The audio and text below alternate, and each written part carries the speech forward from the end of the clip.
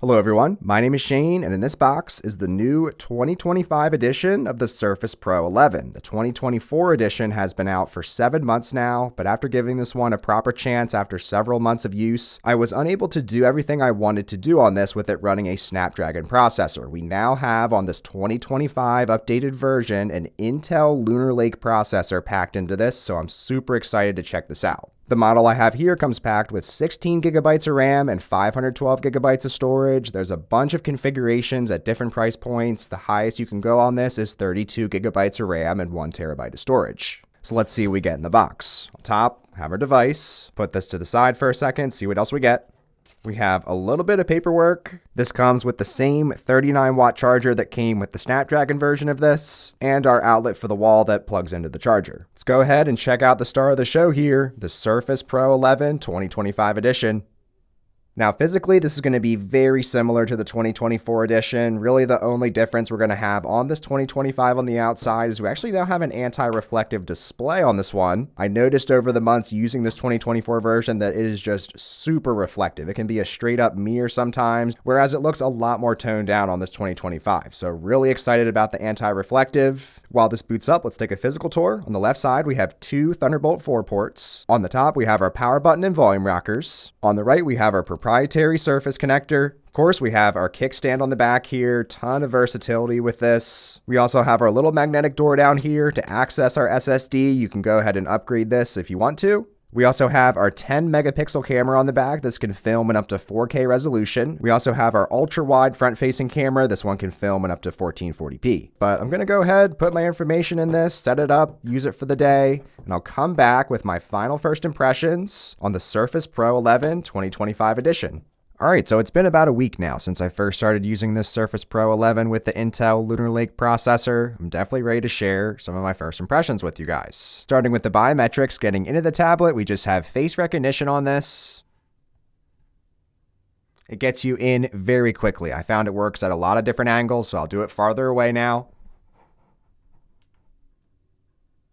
So at arm's length, that's still unlocked, so very good range on this and gets you in very quickly. And once you're in, you'll be greeted by the 13-inch display. This has a 2880 by 1920 resolution. Text looks more crisp on this Surface Pro 11 compared to the brand new Surface Laptop 7 for a point of comparison. We have a very nice 3 by 2 aspect ratio here, so even though we have just the 13 inch size on this, it does feel like enough screen real estate for me and my needs. And this is also an OLED display, so I've been really liking the colors on this OLED. It's the first time we've got it on this Surface Pro 11 compared to all the previous Surface Pros. We also have a maximum brightness of 600 nits on this, which I have found to definitely be enough for me and in my bright office environments. And there's also an anti-reflective coating on this, which actually has been noticeable for me. Something that always caught my eye on this older Surface Pro 11 is that the screen is very reflective. It was very distracting in a lot of my everyday use cases. So this is on maximum brightness. You can see my studio lighting there in the middle, how bright that is on my studio light. Compare that to this anti-reflective one.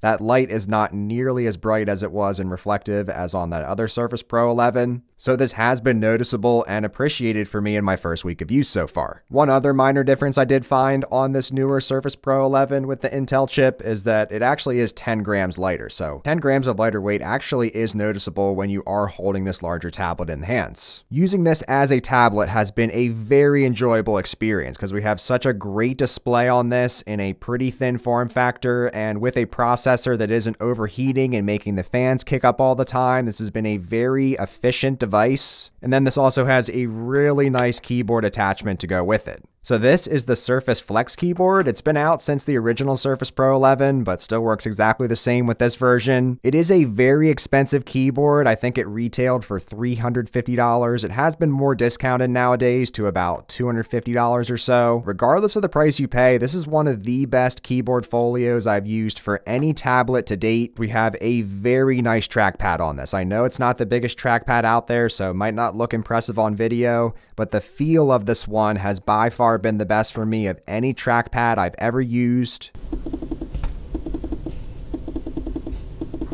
It sounds like such a minor thing to be excited about, but it just makes the overall experience really nice and premium feeling. We also have a very good keyboard setup on this. We have very good key travel on these keys. There is what I would say good enough keyboard backlighting on these, not super bright, but we have three different modes here. This lowest mode is barely visible. And then we have a middle option, and I usually just use it on the brightest all the time. I would say it's good enough. The backlighting on these isn't super bright, but it's definitely enough and has a nice enough look to it. And the highlight feature of the Flex keyboard definitely has to do with it being now wireless. I can go ahead and still use the keyboard here. So so I can type on it, do whatever I want to do on it. So nice to have this detached. So we do have a built-in battery to the keyboard case now. It is maybe slightly heavier, slightly thicker, but not all that different from the previous generations. We still have the same really nice microfiber outside on this. And a nice little touch is that when you can roll this over, you then have a little bit of an elevated raised up keyboard towards you when you're typing, which is super nice. It is a very nice keyboard setup to go alongside this. What's also nice with this keyboard is that you don't have to detach it all the time. You can just flip it around and none of your inputs are going to show up from the keyboard on the back. See, I have a note here, still have the keyboard plugged in. Can type a bunch of stuff on the back, not getting any inputs here. Or if I go up and touch that trackpad, there's no inputs going on. And like I mentioned before, we have a very slim package here. So there's been a lot of times I found where I just wrap around the keyboard, continue to carry this around with me. And then there's the Surface Slim Pen 2 to go alongside all this as well. This is still the same Slim Pen that Microsoft has been offering since 2021. So still works here with this one. And I have really enjoyed the pen input with this so far. We have a nice smooth writing experience here. We have some haptic feedback inside the pen as you're writing. We of course have the eraser tip tip on this, so super easy to just go ahead and erase. You can press the button on the top to activate things. Using this in Excel has been very enjoyable, so just a lot of good use cases for the Surface Pen to go alongside the Surface Pro. But now getting into what is really different now with this new Surface Pro 11 compared to the one that came out seven months ago. It is the new processor that is inside this tablet. This now comes with the Intel Lunar Lake processor. And all these different processors can be very confusing these days, so I'm going to leave on screen the four models that are these Intel Lunar Lake processors. Regardless of which of these you end up with. Overall, you are getting better performance in addition to far better efficiency on these Lunar Lake processors compared to some of the older Surface Pros with Intel chips. In addition to better performance than what we had on the Snapdragon X Elite version of the Surface Pro 11 that came out a few months ago. Now, the first thing that shocked me with this Intel Lunar Lake Surface Pro is that just in your lighter general use cases, having just a lot of tabs open, doing a lot of different things, having just a lot of applications open at once. When doing any lighter tasks on this, this is a completely silent device. It's also cool to the touch. It's not heating up a lot like those previous Intel Surface Pros. And then in addition to running cooler and running more efficiently, we also have improved performance on this, which has been greatly appreciated in my first week of use. I am finding noticeable performance differences, starting with the previous Surface Pro 11 with the X Elite processor. So I did a lot of side-by-side -side testing in RuneScape to show you that in my personal use case playing this game, I am only able to get at most 80 to 90 frames per second out of this, which does sound nice on paper, but it's been a generally choppy experience for me. The gameplay is not super smooth, which is what I'm looking for. Whereas now on the Intel model, in the same exact scenarios showing these side by side,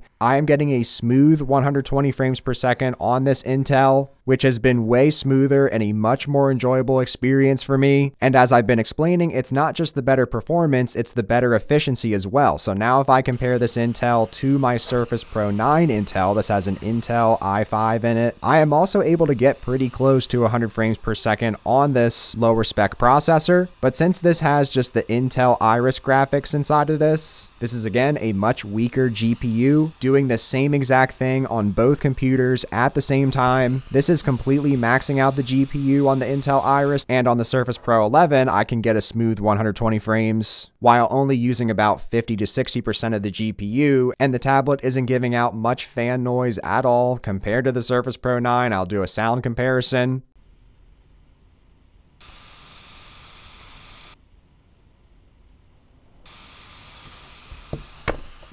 Which that just has summarized my experience with all the previous Surface Pros over the years. Whenever I want to do something more demanding on these devices, it kicks up like crazy. Now, that's not to say that this Intel version of the Surface Pro 11 doesn't heat up and doesn't give out a lot of fan noise. It still has fan noise, but when running on the best performance mode and pushing this device to as far as I would push it, which is using 100% of the available GPU and about 30% of the available CPU, this is what it sounds like at the maximum fan levels.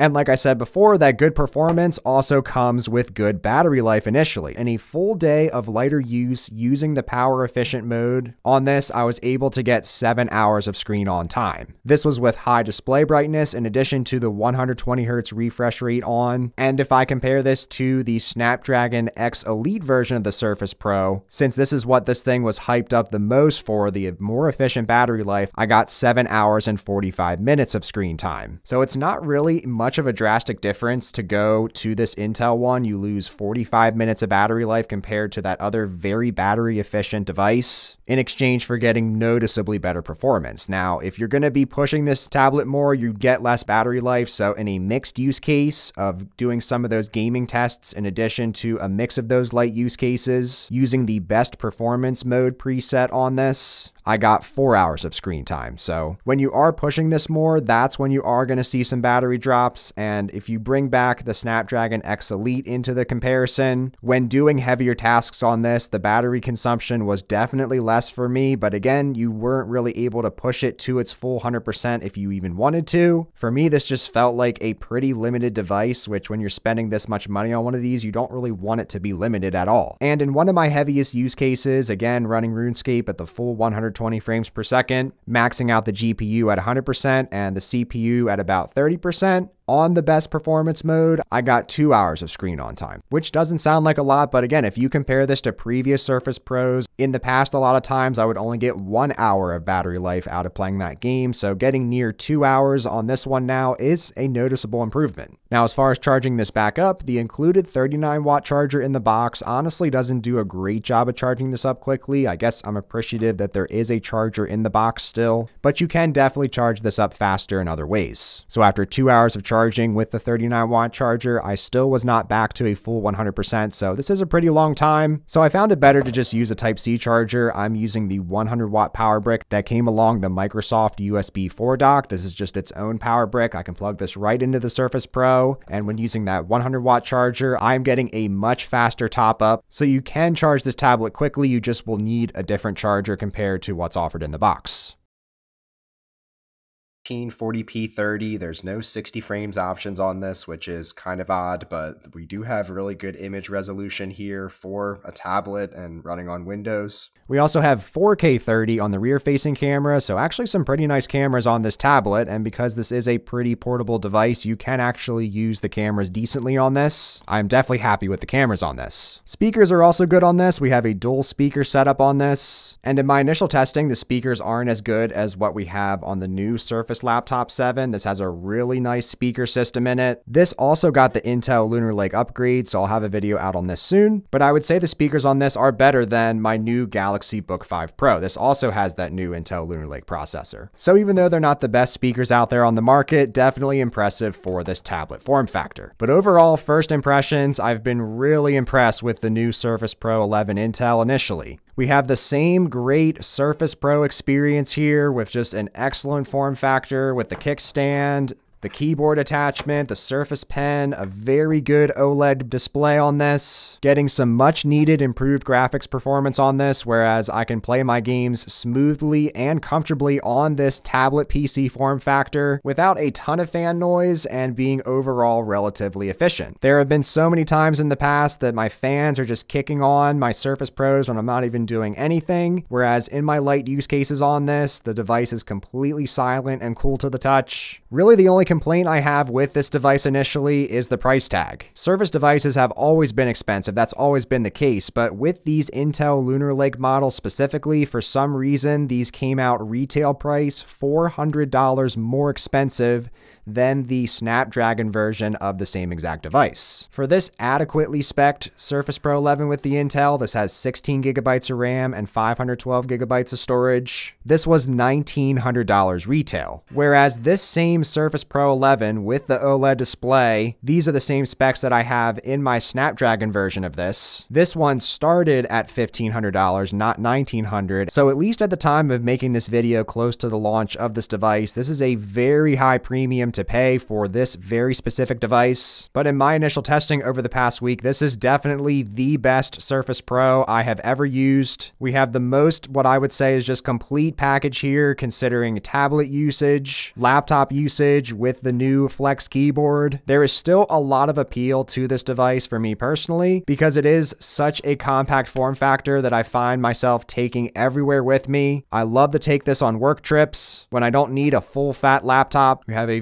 very slim package here and it's just super easy to jump into this device at a moment's notice.